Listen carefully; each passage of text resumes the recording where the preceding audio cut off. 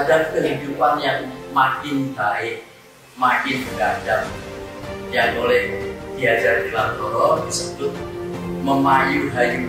Itu pendidikan Bapak Memayu itu dari kata dasar ayu berarti cantik.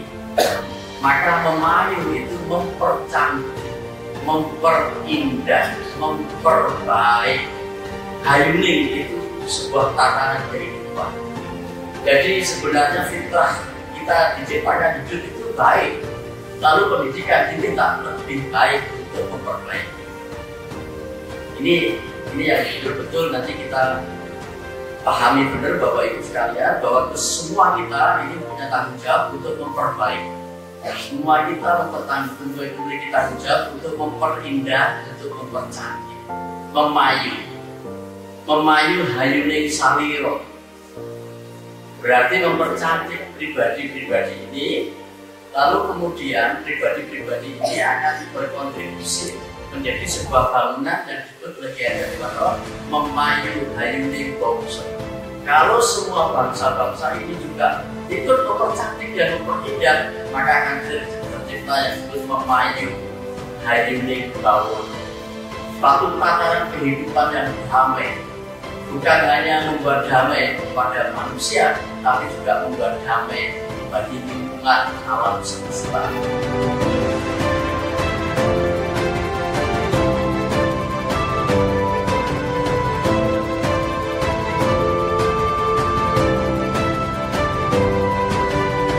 Ini sangat bermanfaat karena memang pada saat ini eh, pencegahan kekerasan terhadap dan perlindungan anak adalah suatu hal yang peniscayaan harus dilakukan oleh semua sekolah. Kami di SMA Negeri 1 Balikpapan telah banyak hal melakukan kegiatan seperti ini.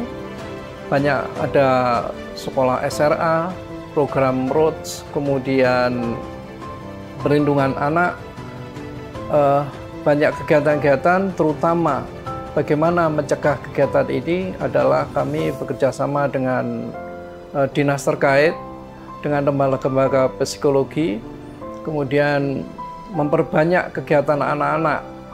Jadi bagaimana mengarahkan anak-anak untuk mengikuti banyak kegiatan eskul yang dilaksanakan di sekolah. Hal itu kami sinyalir uh, untuk mengurangi uh, mereka untuk berpikir hal-hal yang negatif, kemudian mereka bisa saling menghargai, bekerja sama, untuk menumbuhkan kreativitas di antara mereka. Nah, kalau mereka sibuk, mereka kreatif, mereka banyak kegiatan, saya kira pikiran-pikiran uh, yang tidak suka kemudian dicetuskan dalam kegiatan kekerasan baik oleh guru maupun oleh anak terhadap anak akan bisa dikurangi.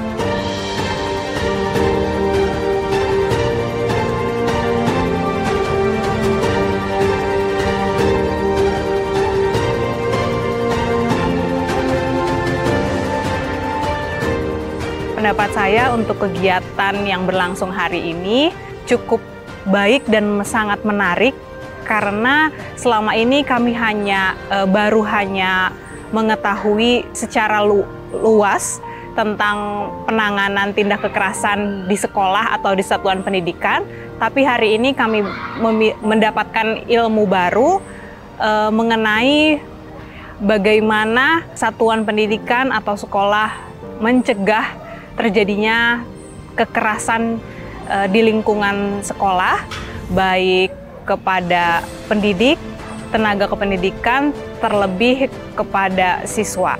Jenis-jenis kekerasan uh, yang ter, yang dapat terjadi di lingkungan sekolah, pencegahan hingga penanganan agar tercapai sekolah yang aman, nyaman bagi seluruh uh, peserta didik pendidik, dan tenaga kependidikan.